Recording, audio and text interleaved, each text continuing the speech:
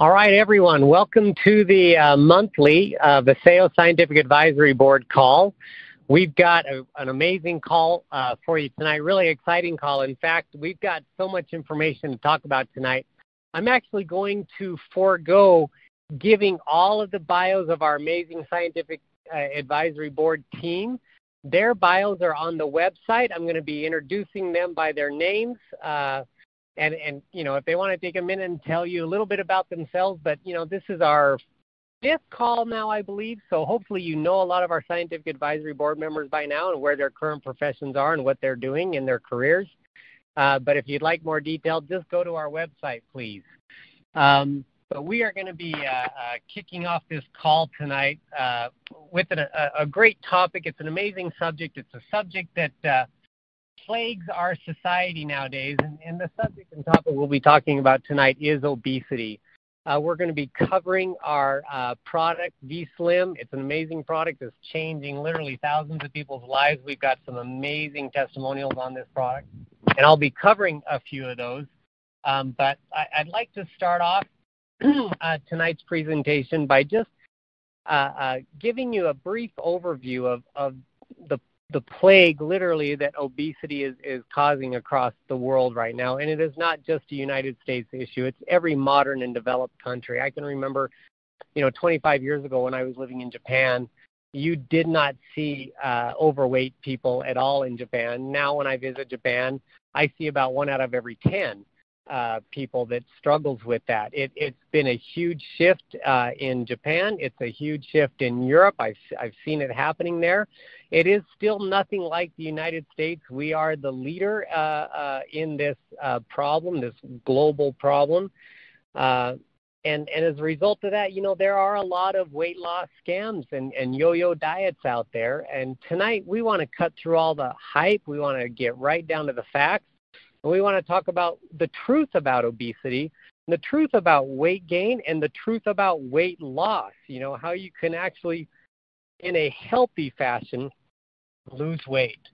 Uh, and we're going to be starting uh, our call tonight with uh, Dr. Sabo, Dr. Stephen Sabo. Uh, if you are on with us, uh, go ahead and unmute. And, and why don't you tell us a little bit about the, the topic that I gave you is, you know, obesity, what you see in the R, ER, what the epidemic is, and, and some stats and numbers, you know, throughout the United States. If you can go ahead and just introduce the call by starting off with that, I'd appreciate it.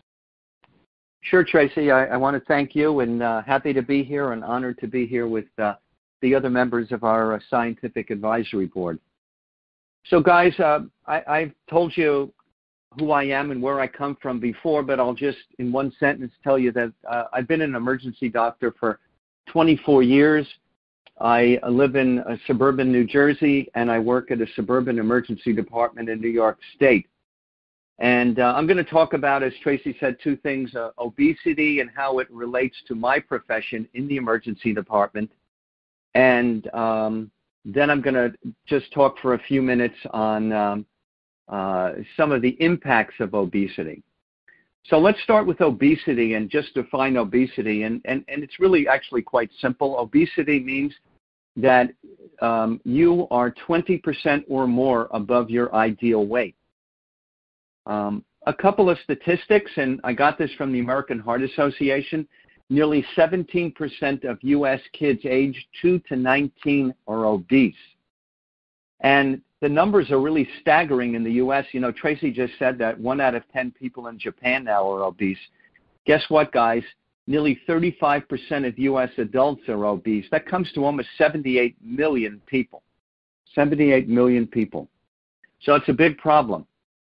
And it's certainly a problem that I see in the emergency department. And what I thought I would do is talk about how um, obesity increases the risk of certain disorders and just go by just go disorder by disorder and and tell you what it is uh, that I see, and it's really remarkable. And that that's going to be most of what I'm going to talk about here.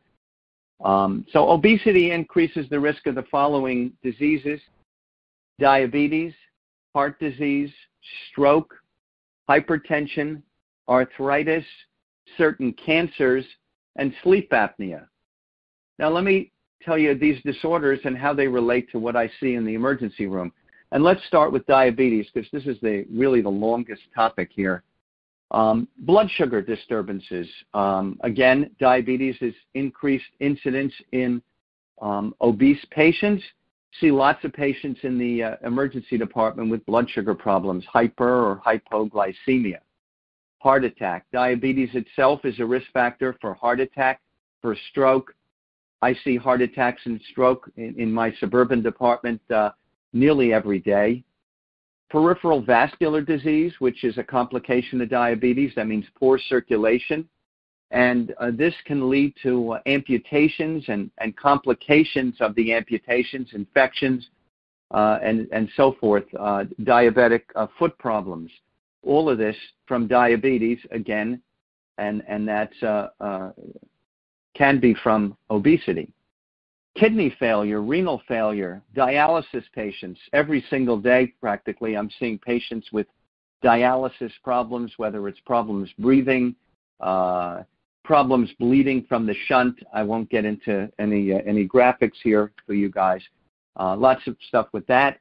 Uh, diabetics tend to have problems with blood pressure, hypertension. I see that nearly every single day peripheral neuropathy, which is basically nerve damage, and uh, patients can get pain or numbness and or numbness to the legs. Eye problems, retinopathy, uh, problems with, um, with vision. See that a lot in diabetic patients. There's a condition called gastroparesis, and um, diabetics can get that. It's called diabetic gastroparesis. Basically, what it means is that the food going through the stomach slows down and patients can present with, with abdominal pain. See a lot of that. We have to give medications, uh, and there are various medications we have for that. So other types of uh, emergency department visits that I see that, that can come from uh, obesity is heart disease. And um, again, hypertension, we talked about that.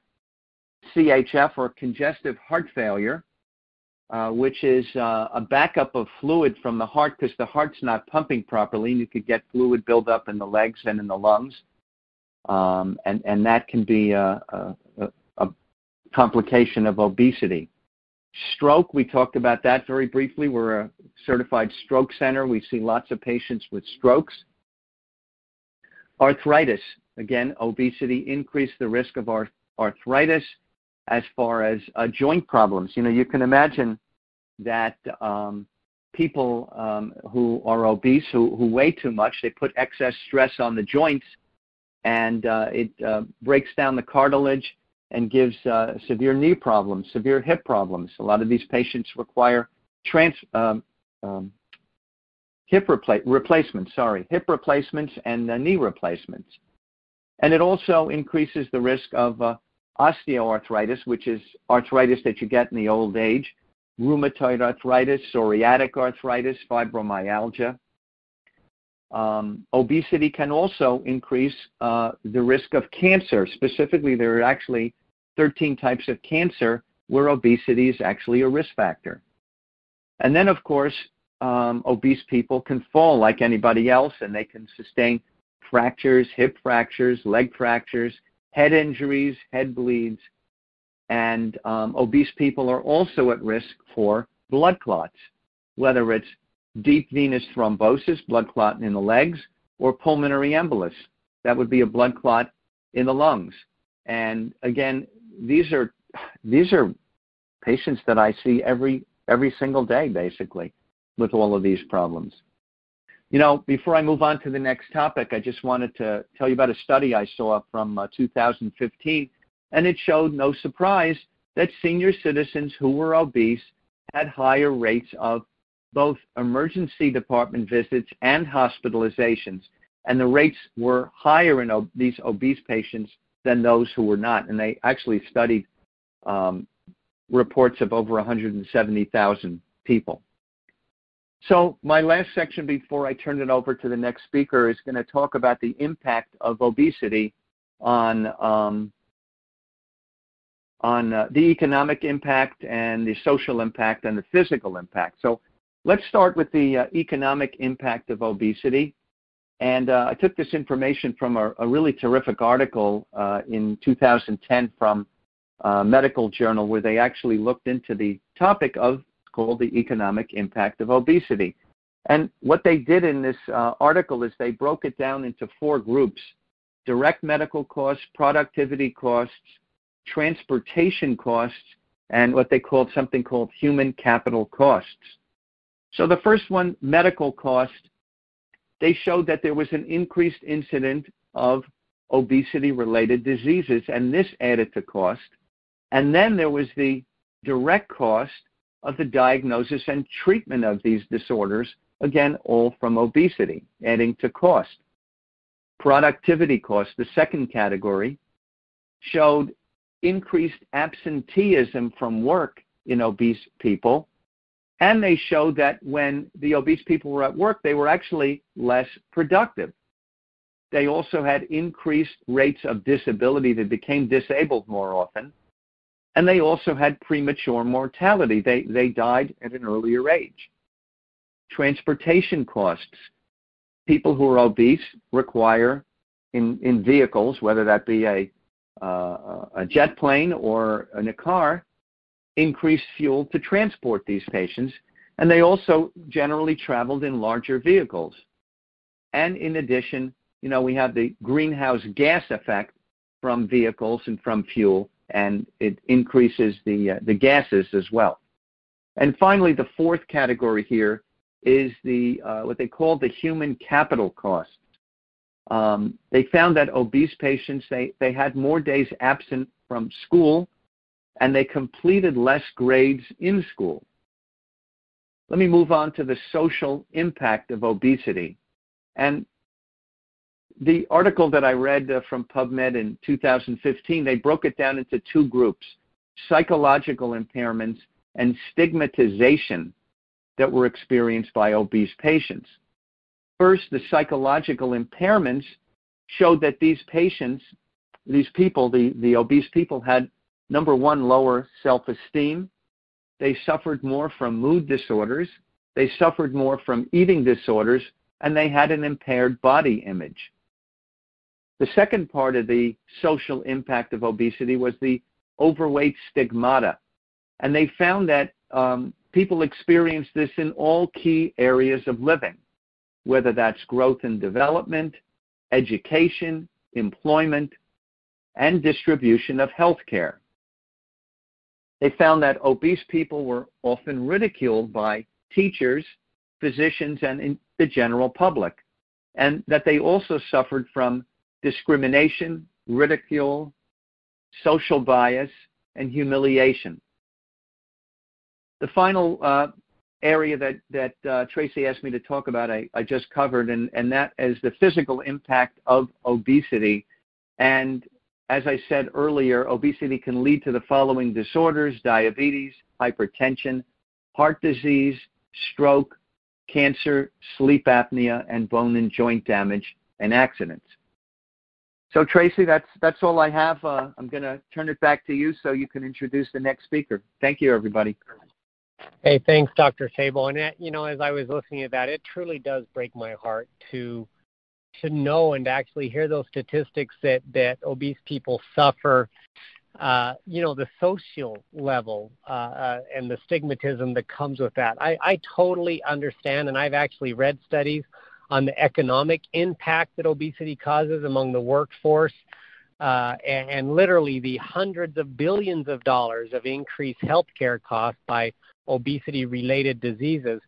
But to actually hear that we as a society still treat these people different, it, it is sad. It's sad to hear that. Um, because you know we shouldn't as human beings we shouldn't do that uh, anyway, that that that really touched me, and thanks for sharing that. You know, it, it is a problem. It is a problem among our society. We shouldn't discriminate against it, but it does create a large economic impact. And again, I have read statistics where those numbers are in the hundreds of billions of dollars just in healthcare alone, let alone you know the the workforce and the the work environment that you talked about, the loss of productivity time and things like that. That's also in the hundreds of billions of dollars.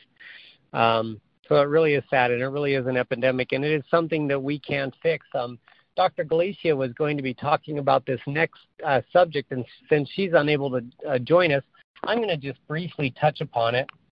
And it's, it's actually on what the true cause of obesity is. You know, that there are so many, in my field, being in the nutrition field, and for as many years as I have been in it, I have probably had to answer this question hundreds, if not thousands, of times where people say, How can I lose weight? What's a healthy way to lose weight? How come this pill didn't work for me, or how come this diet program didn't work for me? Uh, and it really does come right down to uh, a couple of issues that plague our society and that as we age uh, happen uh, to our bodies. Uh, Dr. Timothy Snyder is going to be talking about metabolic syndrome uh, when I finish discussing this one simple topic here so he'll be talking about the physical disorders that can lead to obesity. But even before those physical disorders like hypothyroidism and metabolic syndrome and, and those things like that can happen, the simple fact behind obesity is a simple formula, and it's calories in versus calories out. And, and this is what a lot of people don't like to hear and they don't want to hear, um, but it is the simple truth. As our cells grow and multiply and divide, they need nutrients in order to multiply and divide. And if you overfeed your body, you will add body mass. Uh, the more cells you have, the more nutrients you require, uh, even. So, and it really does come down to if you ingest more food than your body needs to produce energy, or then you are expelling in caloric output, in other words, exercise, walking, you know, activity levels. If you take in more than you burn out, you will gain weight. You will increase your body mass. Um, and, and again, there, there's been numerous clinical studies on this. There was even a compilation. I was, I was reading a uh, Russian medical journal where this, this Russian uh, uh, medical doctor had traveled the world and had studied from about the 1920s all the way through uh, 1960 uh, in, in Cambodia area, these mass concentration camps and and um, mass forced labor camps where they were overworked and underfed. And it did not matter if there was type 2 diabetics in those camps. It did not matter if there was hypothyroidism in the camps. It did not matter if, if there was depression in the camps.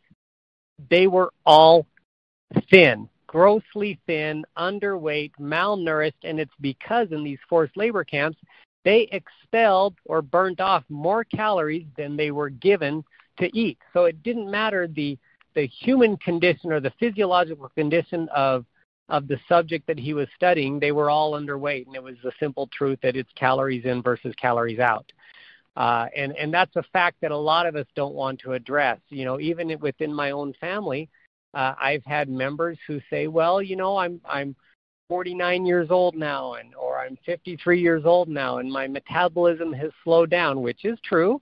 But even with a slow metabolism, you have to change your diet. Um, again, you have to watch your calories in versus calories out. Um, and if we don't do that, if we continue to live a sedentary lifestyle and continue to eat empty, nutrient less food, so we're getting lots of calories but no energy, uh, no no nutrients from those calories, then we will continue to pack on cellular mass. In other words, more fat, uh, uh, more fat cells. Um, and so I, I, want everyone to clearly understand, you know, if you've been on weight loss programs and you followed them strictly and you've taken this pill every day that people have told you to take and you still can't seem to lose the weight, go back to that simple equation. Meaning, reduce the caloric intake so make smarter choices maybe you can you can actually eat more nutrient dense food more dark green leafies more uh, really high nutrient uh, uh, condensed food and then increase your um, metabolic output, increase your exercise levels, increase your activity levels, and you will start to see weight loss. Um, There are people who do struggle with the motivation to get out and exercise, and that may be a depression issue. Uh, again, the topic that uh, Dr. Snyder is going to be talking about, metabolic syndrome, there might actually be hormonal changes or chemical changes going in your body that prevent the motivation or that make it difficult for you to uh, get that heart rate up to where it needs to be to where you're actually burning fat instead of burning just uh, uh, sugar intake and things like that. But those usually, again, are secondary causes of obesity. so, again, if you're struggling with a weight loss program, go right back to that simple formula calories in versus calories out. How many calories am I burning in this 30 minute exercise or, or one hour exercise? How many calories am I going to burn on a bike ride or on a swim or on a walk? And that's what I need to limit or go below my caloric intake in of nutrient dense foods so that I can then start uh, losing weight. Um, so, uh, Dr. Snyder, why don't we have you cover uh, um, a little bit about what metabolic syndrome is? What are some hormonal changes that people experience as they age? And, and sometimes we don't even see it in, in older people. Our youth are beginning to experience this simply because of the sedentary lifestyles they're living uh, and things like that. So I'm going to have you cover that topic if you wouldn't mind. Thank you. Uh, appreciate that. Uh, thank you. Um, I'm going to sort of summarize my talk uh, in two sentences. Uh, if you're thin, don't get fat. And if you are fat, try not to be anymore. Um, and Tracy, I'm going to uh, go ahead and talk a little bit about metabolic syndrome, but and I hope that this won't sound a little bit too medical, but I'm sure that it will. And uh, forgive me if it sounds a little bit too medical, but let me just define the problem. Metabolic syndrome is a problem of urbanization. Uh, we clearly have um, excess. We have excess food intake. Um, that leads to obesity, and oftentimes obesity will lead to a sedentary lifestyle. And we know, and Dr. Sabo said, fat people have more disease. They have more diabetes, they have cardiovascular disease, gout, hypertension, and metabolic syndrome has been called the deadly quartet. It's been called um, syndrome X. Uh, it's been called an insulin resistance syndrome, but what it really is most accurately defined as a collection of unhealthy body measurements. And that means unhealthy laboratory tests uh, and unhealthy body habitus. So usually it means you're obese, which means your body mass index, BMI, is greater than 30. You are hyperinflammatory. You have high glucose in your blood. You have hypertension, and your cholesterol is too high. That is, by definition, metabolic syndrome. And most of those, not all, but a lot of those show up in people that are obese or overweight. Now, the problem with that is that it really comes down to what Dr. Sabo's already mentioned. If you have metabolic syndrome, you have a five-fold increase in diabetes, a two-fold increase in cardiovascular disease. Your risk of stroke goes up four times. Your risk of heart attack goes up four times. And your risk of any type of dying early goes up twice. In fact, the International Diabetes Federation has estimated that 25% of the world population has metabolic syndrome. That's just not the United States, that is the world. So you can see we have a true epidemic of obesity and obesity leading to this disease called metabolic syndrome. And it's said that 60% of obese people will develop metabolic syndrome. Now, we have obesity. We know that people are fat, but why is that a problem? I mean, we know that 40% of people that are fat, they don't get metabolic syndrome. What is it that protects them? Well, honestly, we don't know, but we think we understand why 60% of them have all of these complications associated with being fat. And what the problem is, is that being fat causes you to be in a chronic state of inflammation. Now, you know what inflammation is. You take a nonsteroidal to cause decreased inflammation. You know your joints swell up. And when that happens in your body, it causes all kinds of diseases. And the reason it happens is because you're growing fat cells. I mean, if you eat too much, and you'll know what happens if you if you don't eat and you don't if you eat too much and you don't exercise you can actually see that your pants are a little too tight but what is really happening is that those fat cells are actually outgrowing their blood supply so when you've got a fat cell which is saying hey i want to grow i want to grow i want to grow but it also needs a blood supply in order for it to grow but it actually grows so fast that there's not enough blood to feed in a healthy way that growing fat cell. So, guess what happens? Most of us know that if you are hypoxic or if you don't have enough oxygen, like a heart attack or a stroke, what happens is you set out or you spill or you produce all of these inflammatory, they're called adipocytokines. And there's lots of them out there, and I'll mention a few of them for those of you that understand what these mean, but they're things like tumor necrosis factor and interleukin 6 and C reactive protein. Now, why is that important? So now we know that fat people produce all of these inflammatory hormones. They're sending signals, but they're also doing damage. In fact, we know that fat produces free fatty acids, which causes impairment of the beta cells in your in your pancreas to produce insulin. That's a problem. We know that tumor necrosis factor decreases your insulin sensitivity. We know that C reactive protein, which is produced by fat, increases your and predicts actually cardiovascular disease. We know that interleukin 6 receptors in the brain control appetite. And we also know there are things like leptin and other um, adipocytokines that are actually causing things that actually cause us to become more fat.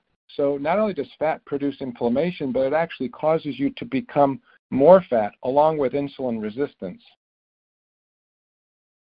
So you might say, well, what is the treatment? Well, the treatment has to be, like Tracy mentioned, it has to be our goal is weight reduction. Um, and therefore, we have to have a decrease in the amount of food that we consume.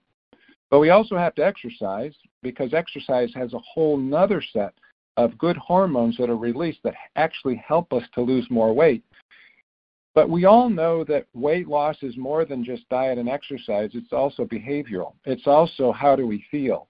Um, we know that if you can just burn about or eat about 500 less calories per day, and if you can just do that over time, we know that you will actually lose weight. That's well known. And we know that with modest weight loss, you can yield a significant improvement in your metabolic syndrome. If you can just lose 5% of your body mass, sometimes people that had metabolic syndrome will be shifted over where they actually no longer have metabolic syndrome. We know that if you can do 30 minutes of moderate intensity activity daily, we know that you will lose weight.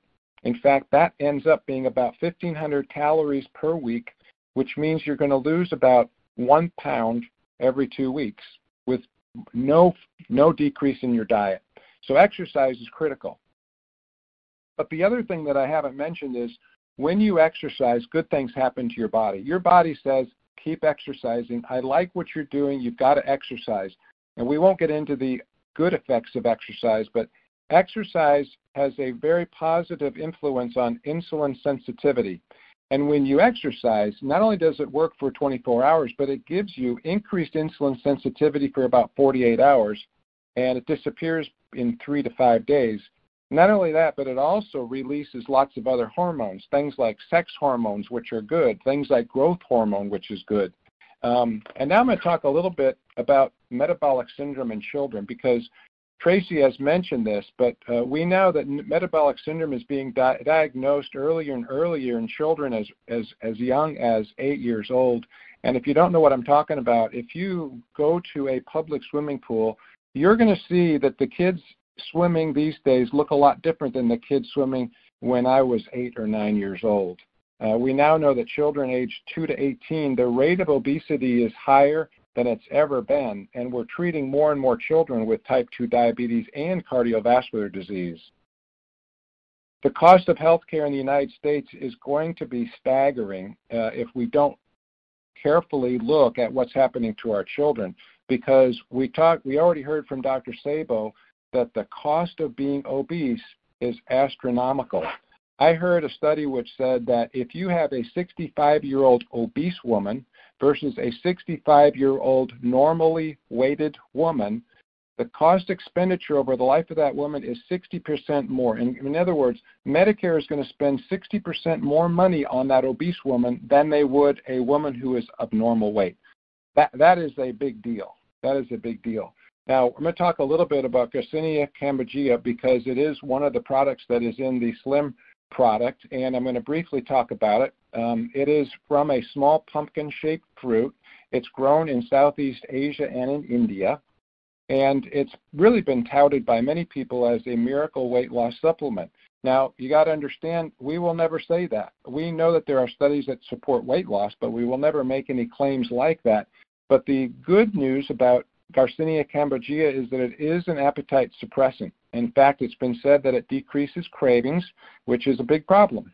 Um, it also produces a positive mood. Uh, it increases energy and concentration, and it's been said to stabilize blood sugars. Um, some of the studies that have been out there have been fairly impressive, um, but with any research, um, there are also studies which show that it had very little or slim effect, no pun intended.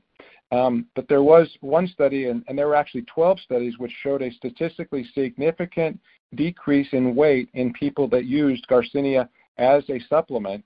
And um, it also works as an appetite suppressant. Um, and it's thought to do that by producing a neurotransmitter called serotonin, which is actually a mood enhancer as well. And guess what? If you're happy or if you're in a good mood, you usually don't eat quite as much. It's also been said to stabilize blood sugar, which, if you have metabolic syndrome, stabilizing blood sugar is a big deal. It helps the body's cells to take up glucose so that insulin, which we know that people with metabolic syndrome are actually have a they, they have insulin resistance, which means the insulin can't pump the sugar into the cells where it's supposed to be. And the biggest enemy of diabetes is blood sugar that floats around. And that blood sugar actually does something called glycosylates um, certain products in your body, and this leads to advanced glycation end products. Anyway, just know that you don't want high blood sugars. It is very bad. It causes problems with every part of your body. I'm going to talk a little bit about um, a little bit more about metabolic syndrome, um, and then I'm going to finish up talking about how does this all come together. In other words, how do you, if you're if you're actually Uh, in this Vasayo group, how does this all fit together? Because it, it really is phenomenal how this all fits with weight loss and V3 and sleep. But metabolic syndrome has been recognized as a major cause of cardiovascular disease. The thing that I haven't mentioned that it's also related to female reproductive disorders, non-alcoholic fatty liver, gestational diabetes, poor cognitive function, Alzheimer's disease, certain cancers, and then there's macular degeneration, which is, I'm an ophthalmologist, FYI. We also know now that sleep apnea leads to hypoxia, which leads to glaucoma, and that's of course right in my in my area. But the one thing I want to say real quickly as I finish up here is that you have to understand that weight loss is multifactorial, but you also have to think that weight gain is multifactorial. In other words, I don't gain weight necessarily because I want to eat more food and exercise less. It usually has to do with things like sleep and job and hips and knees and depression and child rearing and stress. And all those things have to be taken into consider. Um, and we do. Um, but it is calories in, calories out. But you also have to put that little caveat of why can I not exercise or am I so depressed that those mashed potatoes just something that makes me feel so good? Um, I want to talk a little bit more about what is medicine doing to treat metabolic syndrome? The problem with metabolic syndrome is that you've got hypertension, hypercholesterolemia, and diabetes. And traditional medicine will treat all three of those, but they'll treat it with a medicine. And the re- reality is, is that metabolic syndrome is best treated. I had mentioned earlier that if you can just lower your weight by 5 to 10 percent, oftentimes you can turn the corner and reverse metabolic syndrome. So the answer really is weight loss. Now, an interesting study, and this I promise is my last little vignette, is sleep is also, lack of sleep has been associated with metabolic syndrome. it has also been associated with um, obesity. So a lack of sleep is associated with metabolic syndrome, and obesity is also associated with sleep apnea, and sleep apnea is associated with hypoxia, in other words, decreased oxygen, and hypoxia is associated with glaucoma and eye damage. It was uh, one study showed that if you take healthy young men and sleep deprive them, they have a major change in hormones ghrelin and leptin, which are both cause weight gain, which causes an increase in hunger and appetite. If you look at shift workers, let's say you have a woman who works the night shift, we know that she will develop metabolic syndrome, but we also know that that metabolic syndrome not only does it lead to uh, high blood sugars, but it can also lead to an increased risk of breast cancer. So we know that women that work the night shift, guess what? They have a higher risk of breast cancer as well. So in summary, we need to change our lifestyle with nutritional intervention. Um, and we have to do that with very specific dietary supplements, and that's where we come in. So I think that if I'm, I'm speaking to you and you're out there and you've had friends that have uh, said, gosh, do you have a product? Do you have a slim product? What you can now do is offer advice and support to your clients and offer them products that work together. Um, and these are based in science. I mean, the science is pretty strong that all the supplements that Tracy has put together do support in a very wonderful way um, the production of a decrease in the in the amount of um, weight that you're going to gain. In fact, the, the amount of weight that you're going to lose.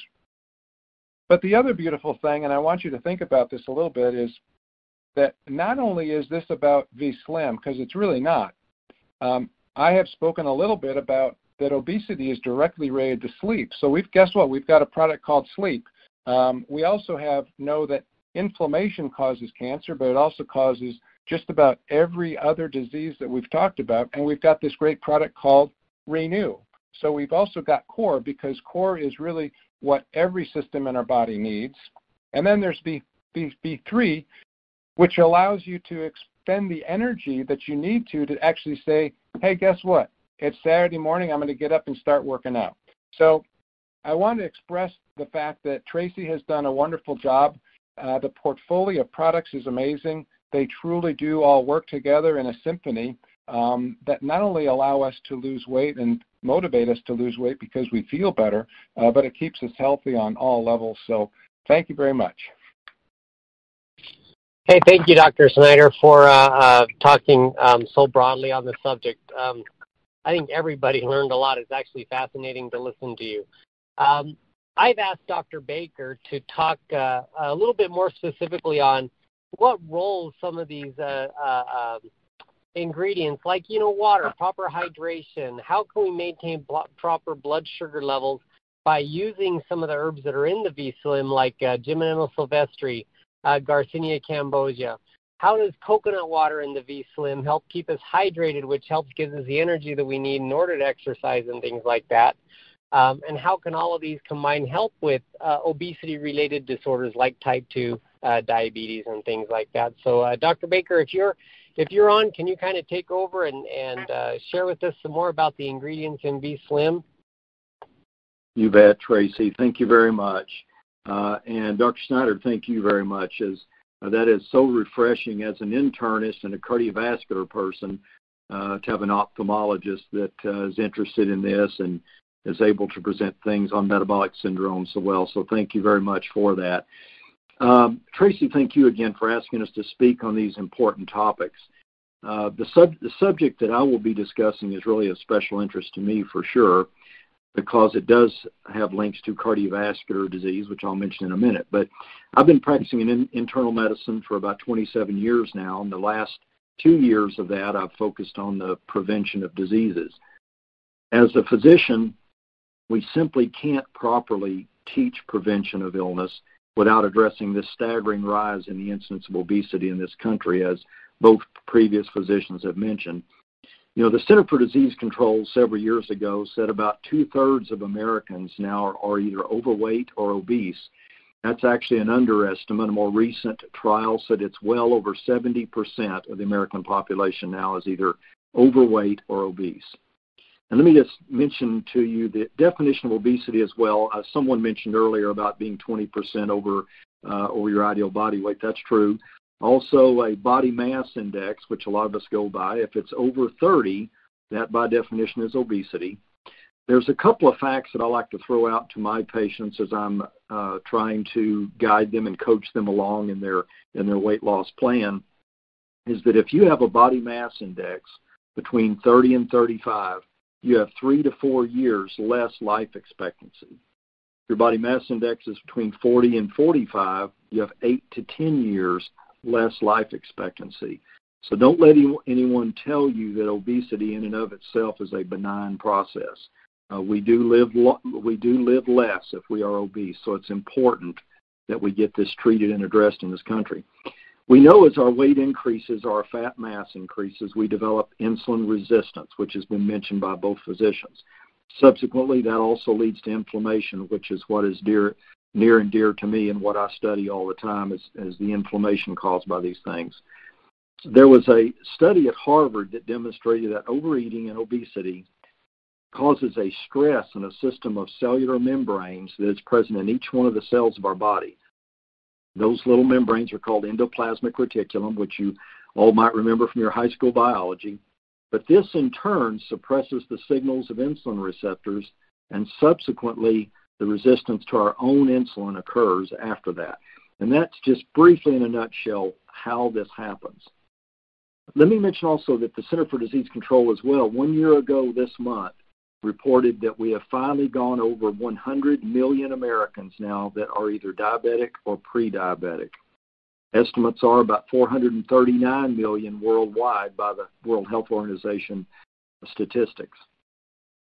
I wanted to mention as well that in multiple endocrinology journals, I go to a lot of endocrinology meetings, uh, that I was uh, very much pleased to be at some of those meetings with Dr. Ralph DeFronzo, which is a very renowned endocrinologist, which uh, he reiterated as well as in some of these these meetings I've been to. It was stated by others that we feel 90 to 95 percent now of type 2 diabetics are obese.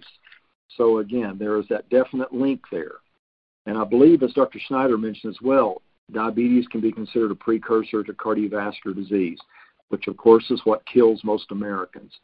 Again, my special interest is the inflammation that we're now being, being able to identify that comes from not only the obesity but diabetes itself, and then secondarily leading to the cardiovascular disease that we get. That's why in my patients I measure inflammatory markers in everyone. Some of those Dr. Schneider mentioned, the CRP, the interleukin 6, some of these others that are very, very common. There's uh, probably 15 of them that I test on people. Uh, I've also been asked to Uh, talk just briefly about the role of hydration in blood sugar management. It's important to note that proper hydration is essential for all diabetics as well as pre-diabetics. Diabetics can have altered thirst responses, which is common. We see it every day. Also, as our sugars circulating get higher, the kidneys need more fluids to eliminate this excess. As we urinate more fluids that is combined with sugars, then we continue to need more and more fluids just simply to prevent dehydration. As I think Dr. Sabo will agree with me as an emergency room physician, when we have a person come into the ER that is dehydrated, what do we do? We rehydrate them typically with IV fluids. But remember, we don't just give water. We typically give electrolyte solutions of different kinds. There are several of them that we use. I worked ERs for a long time as well. As it turns out, the freeze-dried coconut water found in our V-Slim product contains a lot of these electrolytes and nutrients. As a matter of fact, there are articles out there that state that the coconut water from the very young coconuts, when it's still a very clear liquid, is actually very similar in makeup to our own body's plasma. So again, a very good way to rehydrate ourselves. The freeze-dried coconut water is is once again good to rehydrate diabetics, pre-diabetics, or even non-diabetics, as most of us probably are. I feel that this component in V Slim gets overlooked. It's I, I think it's under understated at times by most of us, except for Tracy. And I think that's very interesting that he's mentioned this several times. The importance of the hydration factor in V Slim. I began to appreciate that more as I researched the contents of simple coconut water. It is vitally important. in our efforts to try to help with weight management in our patients with diabetes, prediabetes, or as, as I said earlier, even in those of us that are not diabetic. I've also been asked to briefly discuss one of the other ingredients in V-Slim. It's called Gymnema sylvestre, as well as its benefits in blood sugar control and management. In the Sanskrit uh, language, this means destroyer of sugar. I think I've mentioned that in the previous talk. While it's not really a replacement for insulin, it certainly is well studied and shows a lot of benefits in blood sugar control. Gymnema sylvestre is a plant that's a, it's a woody climbing shrub actually that comes from the forests of India, some in Africa, as well as parts of Australia. It's been used in ancient Indian medicinal practices for over 2,000 years. I found it interesting in one of the articles I reviewed. It says if you chew the leaves of Gymnema, temporarily it will interfere with our ability to taste sweetness. Because the herb contains a chemical called gymnemic acid, it is very structurally similar to our own body's glucose, which is sugar. So it fills our taste bud receptors. At least for a period of time, we do not have the sugar cravings. So Gymnema sylvestre has been shown to lower blood sugars by several mechanisms. One I've just mentioned, just simply uh, saturating our taste bud receptors will help us not crave sugar as much. That's one way. It also reduces the amount of sugar or glucose that is absorbed from our intestines. It's been shown to stimulate insulin release from the pancreas.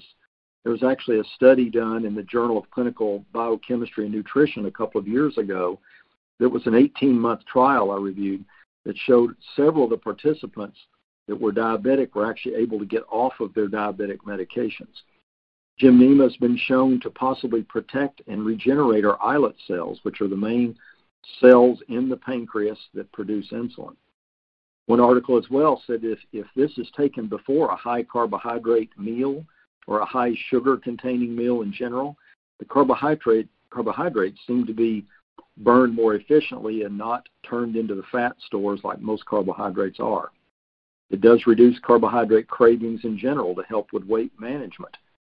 One other article that was totally unVasayo related made the point that when mixed with chromium, it actually helps suppress appetite and insulin management much more effectively than, than either one by itself.